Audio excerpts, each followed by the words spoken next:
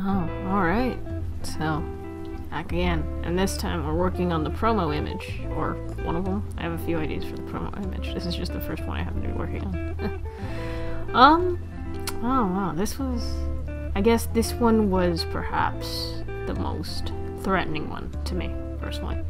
They say that the things you procrastinate on the most are the things that you either care about the most or care about the least. And I happen to care a lot about this promotional image because it kind of felt permanent in some ways. Once I put it out there, there was no taking it back. There was no excuse, oh, I can change it in the future, or it's just a rough or something. I had a lot of difficulty wrapping my head around the idea that things were final. I think that's why I like working with rough projects a lot, just because there's no pressure for it to be perfect. But once you make something final, once you submit that final draft or publish something, or put something out there, you're saying, this is it, for now at least. And it's, it's a lot of pressure, and it made me feel really, really uh, uncomfortable. Um, and for that reason, I guess, uh, well, it motivated me in two ways. It made me feel very, um, I guess I was very intent on making it look good. So I was very careful with it. But I was also so nervous. And if you have too much of that nervousness, then it'll overtake you and you won't be able to make anything. You're just gonna be like, oh gosh, I'm freaking out. But, oh, they say that the faster you fail, the faster you improve. So, this is me failing fast. maybe, maybe this is why I tried to document all of this. It was important for me to document everything. I think I make this for myself more than anyone else. There's something relaxing about looking back at all of this and saying, hey, there you are. Doing your thing, making progress. Even if, uh, if it seems insignificant at the time.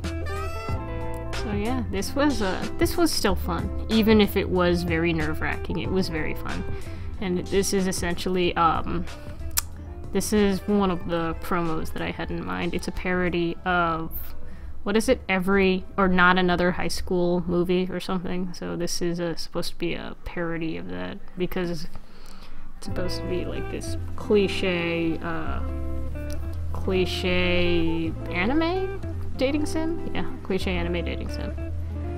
And, uh, and that's what it is. Cliche anime dating sim.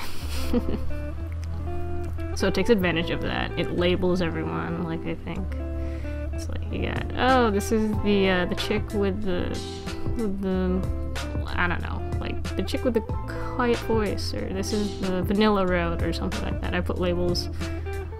Um, yeah.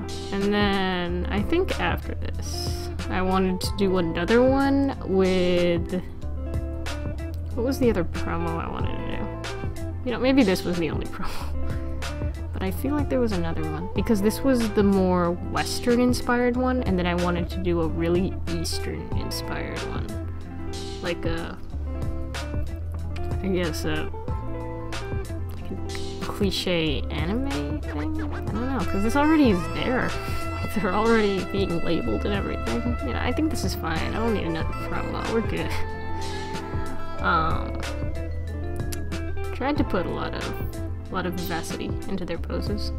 Tried to give off their personalities as much as possible. I think at the very least it was it was uh diverse. What, what am I referencing this for? I'll just cut this part out. Hold on. Oh, oh, it stopped. Okay. Yeah. I only drew the rough in this. Just because... I said a lot. Just because.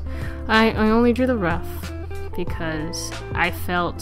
That, again, comes to that nervousness. I didn't want to line it and put down those final marks and say, this is it. This is what I'm going to show to the world just one of those steps I didn't want to take yet. But maybe putting this out will help me to overcome that fear, and I'll be able to continue working. Because I really need to. I am, behind on my, my self-enforced schedule, but still on it. So then, this is this is what I'll have. I mean, I guess in the long run, I think it looks comforting. Oh yeah, there, that's what I wanted. More like Otomatoes.